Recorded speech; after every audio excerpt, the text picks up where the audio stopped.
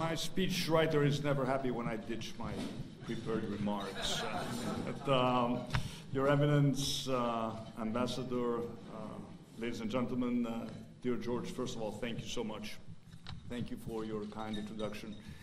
Thank you for everyone, uh, everyone for making this uh, event a reality. I'm truly honored by your presence, by your warm greeting and by your very kind words. Uh, indeed, my visit uh, uh, to New York comes only a few months after what has proven to be an extremely successful visit to Washington, D.C.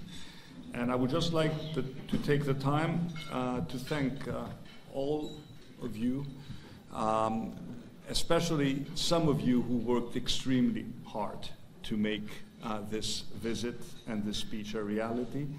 It was not obvious when uh, we started uh, uh planning it and discussing it uh, with our excellent uh, ambassador, Alexandra Papadopoulou. Please give her a round of applause. She truly deserves it.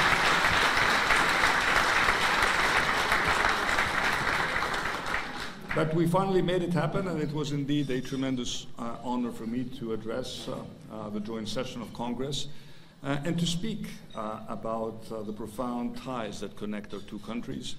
This parallel story of uh, democracy, uh, of a democracy that was founded here in the US, uh, inspired by classical Greece, a Greek revolution, which in turn was inspired by what happened here four decades before the revolution broke out in Greece. And ever since, the United States and Greece have been on a parallel path, uh, always on the right side uh, of history, fighting uh, for the same values that are challenged in today's extremely turbulent world. Uh, of course, it was also an opportunity for me uh, to highlight uh, the tremendous story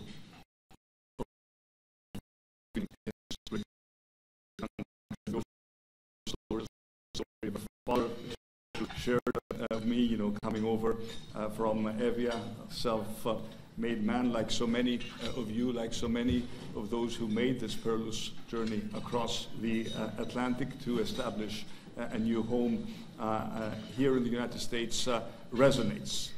and I'm so happy to see the Greek American community engaged in affairs back in the country. And I think one of the reasons why this is happening is because Greece indeed is doing quite well uh, over the past uh, years, and it is also always easier for Greek Americans to engage with the home country uh, when Greece is doing well uh, rather than struggling. But I think the uh, speech uh, in the US Congress was, was important because it came at a time when, again, we face a challenge to those values we all hold so dear to our And I'm again here uh, at the United uh, Nations General Assembly, I'll be able to uh, address the Assembly uh, on Friday uh, at a time uh, when, again, Europe is, is plunged into war. What was unthinkable a year ago has actually happened. and we are again faced with a situation where we have to fight to defend the very values that constitute our democratic states. And I think that uh, the American president, President Biden, is right uh, to frame um, today's division of the world as a fight between democracies on the one hand uh, and autocracies uh, on the other hand. And uh, it didn't take uh, us much time um, to make up our decision to support Ukraine materially uh, and to side with all those countries who understood that what is at stake uh, in Ukraine goes uh, beyond um, the sovereignty uh, of a country which is uh, invaded by a larger aggressive power. what's at stake is the preservation of a rules-based international order. And of course, this is something that should be of great concern to us. It should be a concern to us Greeks. It should be a concern to uh, our brothers in Cyprus. I would like to welcome Minister of Foreign Affairs, Minister Kasoulides, from the Cypriot Republic of Cyprus. because we shouldn't forget that the wound of Cyprus is still, is still open, uh, and that an invasion did take place in Cyprus 48 years ago, uh, and that uh, the problem of the unification of the island, unfortunately, has not yet been resolved.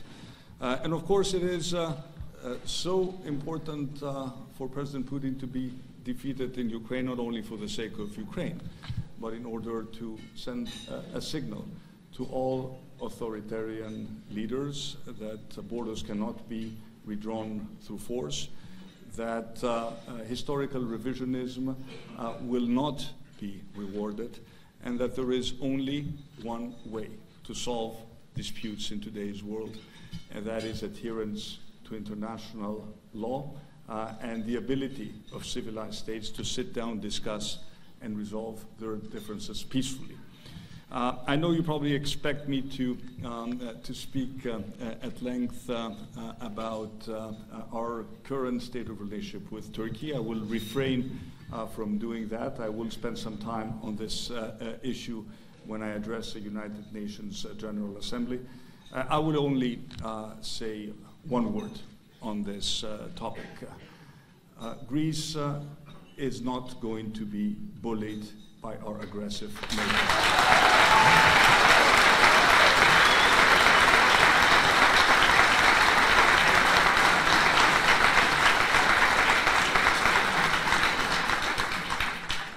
And the challenges to the sovereignty uh, of Greece are uh, simply uh, unacceptable.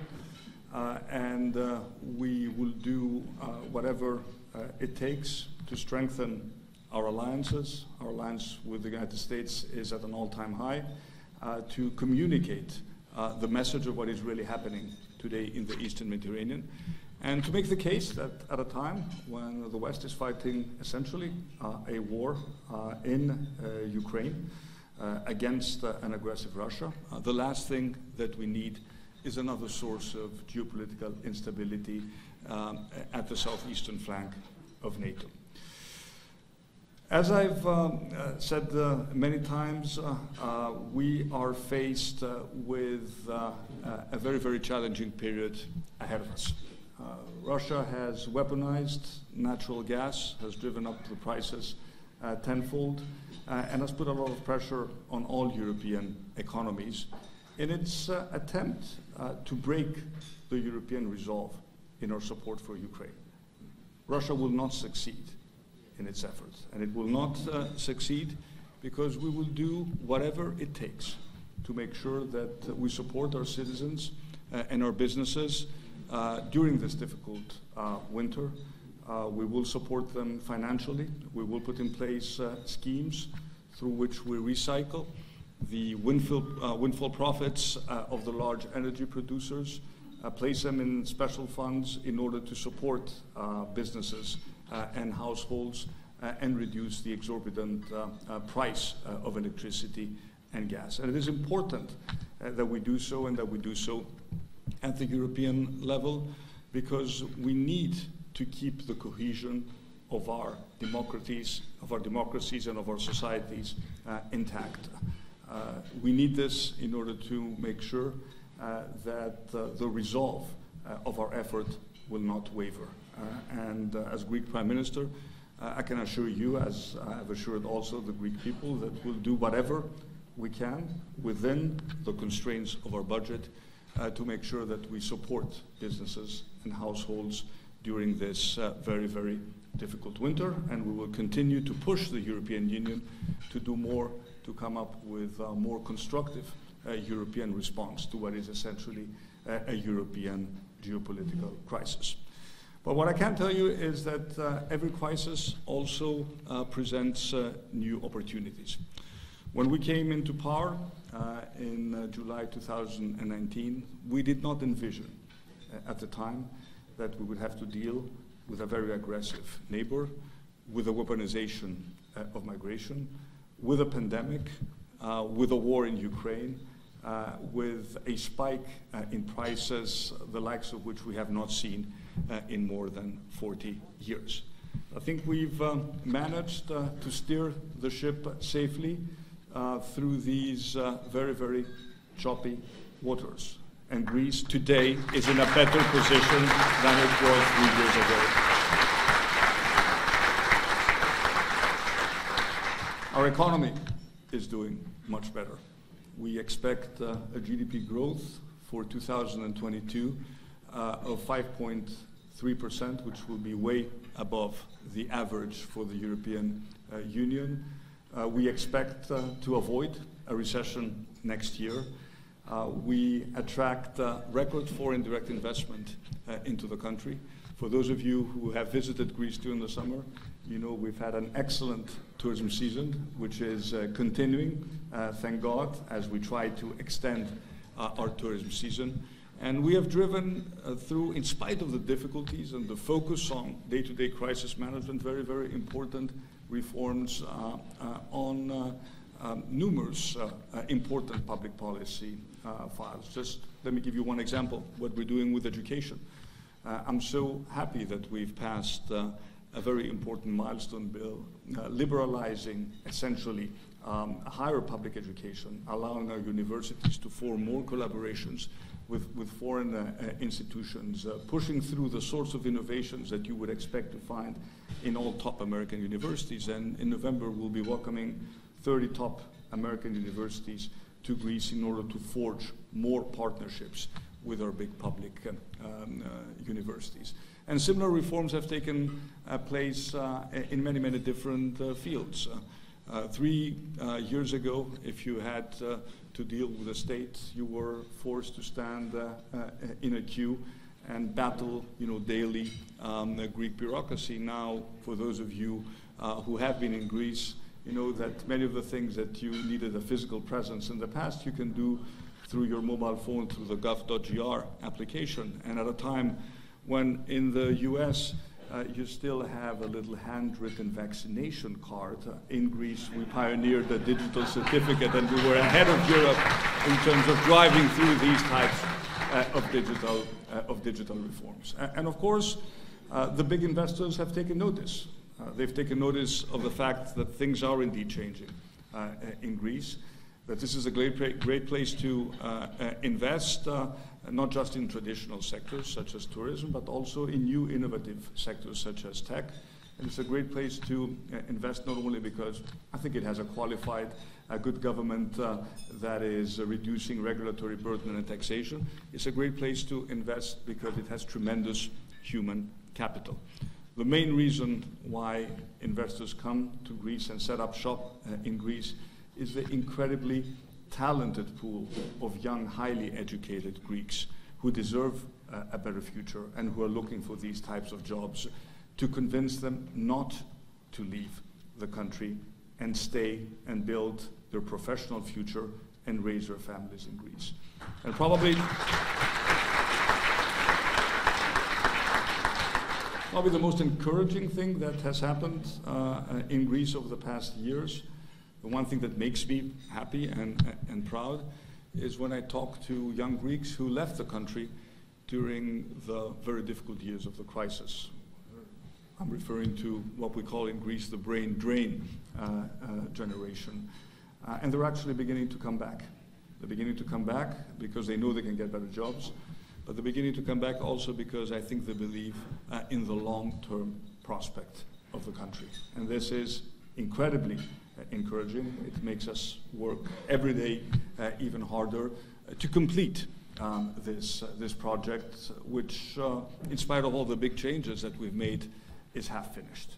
And that is why uh, the next elections are also particularly important uh, from a political point of view, because there the choice is also very clear. It's a choice between staying the course, continuing the important changes that we have implemented drive through uh, reforms, continue uh, on the path uh, of foreign policy that builds upon our strong regional alliances. Let me welcome David Harris, who's an excellent friend uh, uh, of Greece on, on behalf of the AJC, and congratulate you on the terrific job you, uh, you've done and on the important contribution in further strengthening the relationship between the U.S Greece and, uh, and Israel. So, I mean, the one path is, is very clear. Uh, but there's always uh, a risk. There's always uh, a risk that uh, we could revert back to our bad habits and undo all the progress that, that we have made. I don't want to make this uh, a political uh, discourse or a political debate, uh, but we will be having elections in, in 2023. And I think that the dilemma that the Greek people will face is going to be very, very clear. I have confidence uh, that uh, we will be able to continue uh, the work that we, we have started. Again, as I told you, the project of reforming um, Greece bottom up, not just top down, has only started. And it will need time to be um, fully completed. But at the end of this path, because we have a very clear vision about what Greece should look like in, in 2030, is a completely different country. You know, a prosperous country uh, a country that has reduced uh, income um, uh, inequality, that is able to punch above its weight in Europe and in the region. Uh, a country that is able to leverage its tremendous comparative uh, advantages, not just its talented people, but also its, its natural beauty, its, uh, its cultural um, heritage, a, a prosperous and just a country that will bear no resemblance to the country of the financial crisis. Uh, of uh, the second uh, decade of the 21st century. So allow me to conclude by allowing us to think big. I mean, I think the sky is the limit when we think in terms of the potential that this country really has. And of course, in order to uh, fully materialize uh, this uh, potential, we need your help. We need the support of the incredibly uh, talented, uh, prosperous, and dynamic uh, Greek American community. And I know that you care a lot about what's uh, happening back home. And it gives me a tremendous joy when you feel proud about what Greece is able to achieve during these difficult times. Thank you very much for your attention, and thank you. Thank you for the support you're offering to our homeland. Thank you so much.